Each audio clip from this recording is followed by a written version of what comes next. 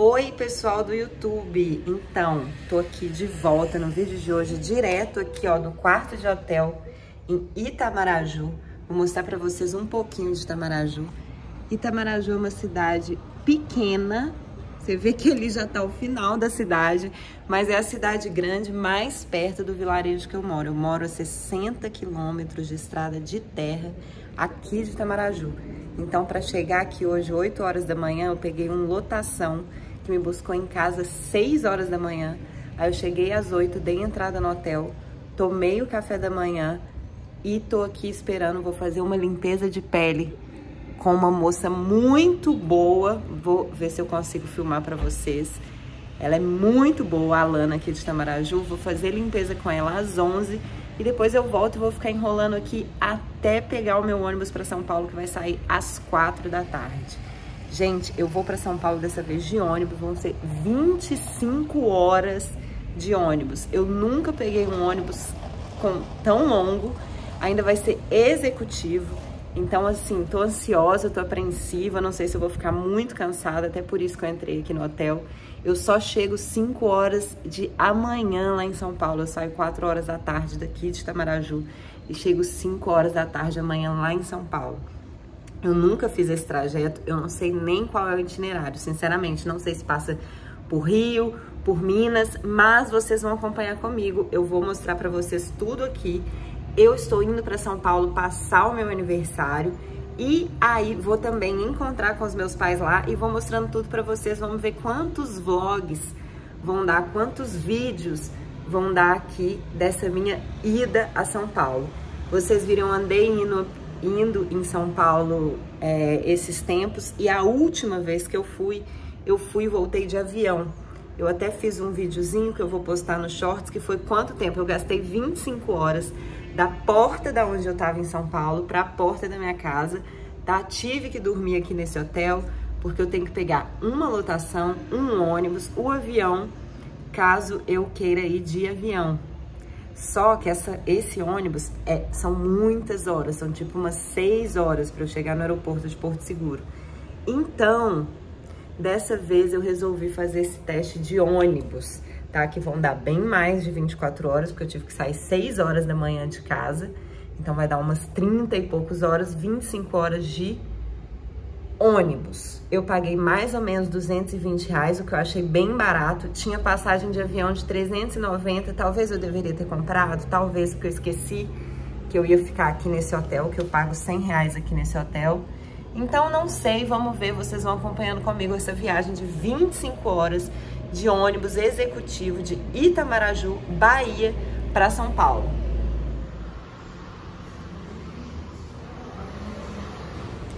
Pessoal, hoje eu não vou passar a noite aqui no hotel, né? Eu cheguei 7 horas da manhã, como meu ônibus sai às 4 da tarde, tá muito quente.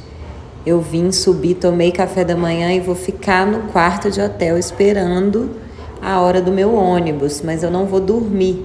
Mas assim, para falar a verdade, compensou. Eu tô filmando para vocês Itamaraju, que tem essas pedras maravilhosas. Eu sou doida para ir nessas pedras. Eu acho uma loucura essas pedras.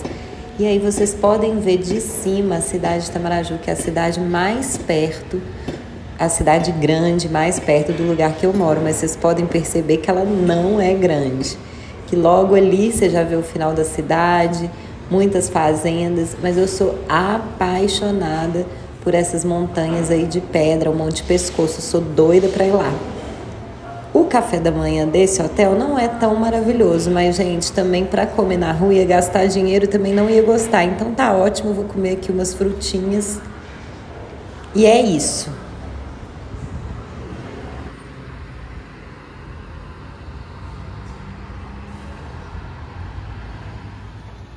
Ali, gente, é o hotel que eu tô hospedada. Olha a ruazinha aqui de Tamaraju. Tá um calor e olha que estamos em abril. E aqui é onde eu vou fazer minha limpeza. Vamos entrar.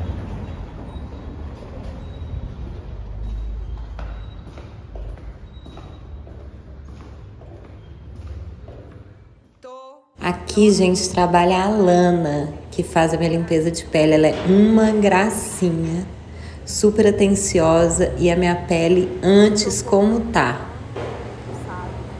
Triste, viu? Cheia de cravinhos, uma coisa doida. Me dá muita aflição. Tô de volta aqui no hotel. Olha aqui. Fica bem marcadinho, gente, mas ela espremeu tudo. E ela passa ozônio antes, depois ela faz vários tratamentos a laser. Agora é hidratar bem, passou uma máscara aí de café. Assim, perfeita. Claro, gente, que limpeza de pele, vocês sabem, machuca, espreme tudo. Então, claro que a pele tá marcada, mas assim, com tanto que ela espremeu, com tanto de cravo que ela tirou, nem se compara. Depois ela faz um, esse a máscara, fez uma máscara de café, fez a alta frequência, fez o laser. E aí estamos aqui, ó. Essa semana eu completo 34 anos e eu nunca pus Botox. Antes eu achava isso uma coisa normal, nunca ter colocado Botox. Até que eu vi que todo mundo tá pondo Botox, né? Então, há algo a se orgulhar aqui. Então, eu gosto dessa história do rosto contar uma uma história mesmo, de ser uma vida real, mas eu também gosto de cuidar com tudo que tem ali de mais de natural e de tecnologia, sem ser artificial, para deixar esse rosto aí também bem firme, né? Igual malhação, que eu não sou muito boa de malhação, mas eu gosto de deixar esse rosto assim bem ativo, colágeno ativo, vocês sabem que eu hidrato, faço massagem, faço limpeza de pele. Tinha muito tempo que eu não fazia. Eu encontrei a Alana no, no Instagram aqui da minha cidade, procurei na hashtag limpeza de pele é, Itamaraju e encontrei. O Instagram dela me interessou, eu fui lá, fiz uma, já voltei, já tem dois meses, já tô fazendo outra e, tipo assim, recomendo super. Então, às vezes a pessoa posta no Instagram, acha que ninguém vai encontrar, eu encontrei ela por causa de post no Instagram e por causa de hashtag. E assim, sou cliente, ela me deixa super à vontade, lá ela me trata super bem, tem vários massageadores. Eu filmei aí vários trechinhos pra vocês verem. A Lana me mima muito. Esse aí, gente, é o massageador de pescoço. Maravilhoso. Isso aí é a alta frequência que ela vem para fechar os poros. Depois que ela te apertou, apertou, apertou, te fez chorar, ela vem com esse alta frequência que vai aliviando ali a pele. Muito bom, maravilhoso. Ainda tem esse laser ultravioleta, que eu acho que é clareador, enfim, ela tem um monte de coisa boa que ela passa no rosto antes e depois da limpeza de pele, já dá uma clareada, uma além da limpeza, já dá uma aliviada ali também na própria machucado que a pele ficou de tanto apertar. Então, assim, é sensacional e o preço dela é muito bom. Aí agora estamos aí passando a máscara de café. Toda vez que a gente termina, ela deixa eu escolher uma máscara. Ela também tem as melhores máscaras. E a gente já passa a nossa máscara de café. Maravilhosa, cheirosa. E eu ainda posso aí fazer minhas massagens no pé. Gente, estou com uma meia de cada cor. Desastre, não reparem.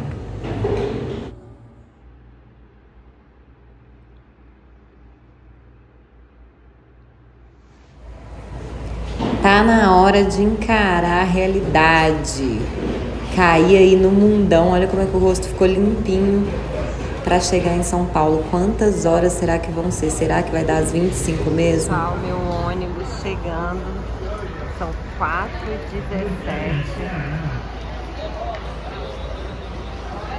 E embora para São Paulo.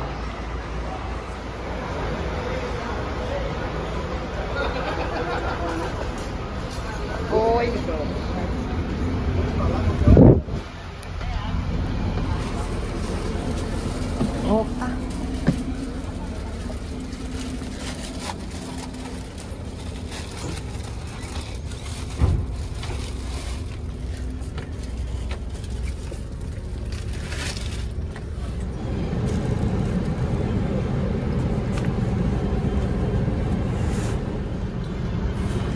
Eu comprei um ônibus executivo e tive a sorte de arrumar uma cadeira que tinha uma pessoa sem mim do lado já em Teófilo Eu não sabia, o ônibus passa por Belo Horizonte.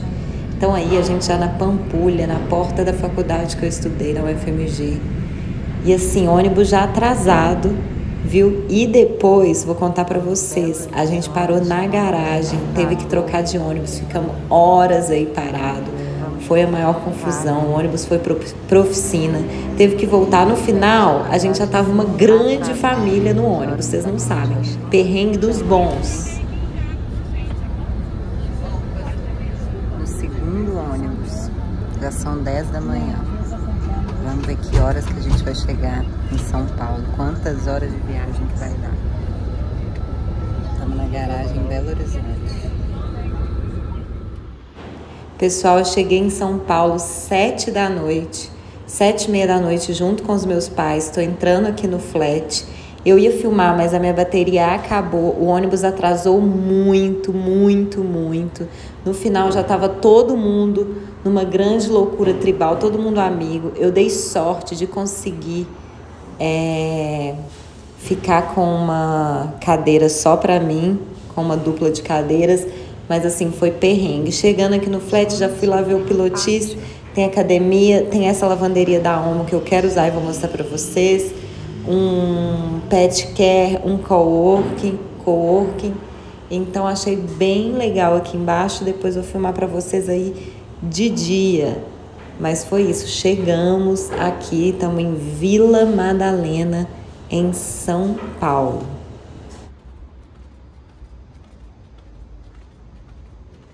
Aqui, pessoal. Bora pegar uma pizza que acabou de chegar. Pessoal, depois de 30 horas de ônibus, tô aqui no flat em São Paulo. Pedimos uma pizza na Brás elétrica que eu era doida pra pedir.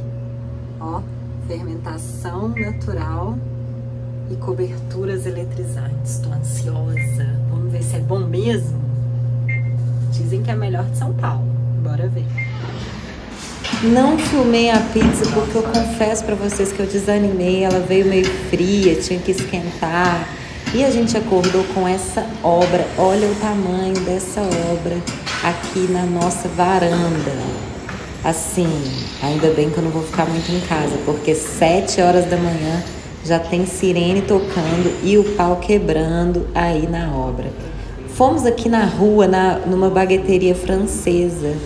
Gente, que delícia! Esse dia aí sim, fui surpreendida, muito gostosa. Eu acho que é La Boulangerie. Esse croissant de queijo que minha mãe pegou estava delicioso. O meu também, mas a baguete, a gente comprou 3 por 20, achei muito barato e muito, muito deliciosa, assim, achando um achado. Já é outro dia e hoje eu quis vir na Feira da Liberdade. Eu tinha vindo comer esses bolinhos de polvo e trouxe os meus pais para comerem também. Comi um pastel também, mas, gente, muito cheio de gente. Vocês já viram onde eu moro que não tem ninguém na rua, ninguém. Então hoje eu fiz dois programas que foi ir na Liberdade e ir no Mercadão de São Paulo, que eu não conhecia, mas eu confesso para vocês que eu consigo ficar poucas horas nesses lugares, porque para mim é muita informação, muita gente, eu não consigo parar e curtir de verdade. Eu fico é, preocupada, eu fico vendo todo mundo, eu não consigo me conectar com ninguém, uma correria. Então hoje o dia foi ir nesses dois lugares, mas quando a gente chegou, a gente deu uma voltinha, comeu uma coisinha ali na Liberdade, mas viemos embora. Hoje é meu aniversário e o programa de hoje já está feito. Viemos para casa, almoçamos e já estou aqui de boa e assim encerrou o nosso segundo dia em São Paulo. Oi pessoal, estou aqui para encerrar esse vídeo aqui na varanda do flat. Já mostrei para vocês aí a obra super barulhenta. Hoje é o dia do meu aniversário, tá? Eu vou começar um segundo vídeo fazendo um tour lá de baixo de manhã, que tem a lavanderia, eu vou usar e fazendo um tour aqui do quarto que a gente ficou hospedado esses dias. Vocês viram aí que eu fui, que a gente foi na Liberdade, fomos no Mercadão, mas consegui muito rápido, para mim é muita gente, muita informação E eu acho que é uma coisa aqui dessa cidade, que é uma das maiores cidades do mundo. Então, para quem gosta mais de sossego, de paz, tem que ficar mais em casa ou talvez ir para alguns parques. Mas eu, esses lugares estavam to, todos muito cheios, o trânsito muito caótico. Então não é muito meu tipo de passeio. Eu gosto de ir, conhecer, assim, saber o que está se falando, até para eu tirar as minhas próprias conclusões. Mas não é o passeio que eu gosto de fazer, sabe? Muita, muita, muita informação. Eu vou me despedir de vocês. Vocês viram como foram aí esses dois dias. Vou seguir mostrando para vocês o que a gente está fazendo aqui. Vou mostrar para vocês a lavanderia, que é a lavanderia da ONU. Se não for muito caro, eu vou usar hoje que eu estou precisando lavar roupa. Eu achei incrível. Eu, o que eu gosto de São Paulo é ver essas coisas novas, assim. Primeira coisa é o delivery, com certeza que você consegue pedir tudo sem sair de casa. A segunda coisa são essas coisas que tem é, de novidade, assim, né? Então, na casa que eu tava da minha amiga tinha um mercadinho no estacionamento. Aqui tem essa lavanderia que é terceirizada com a ONU por aplicativo e eu quero mostrar e usar para vocês, porque eu não sei se vocês já viram aí. Então vou encerrar o meu vídeo por aqui, eu espero que vocês tenham gostado e até mais. Tchau!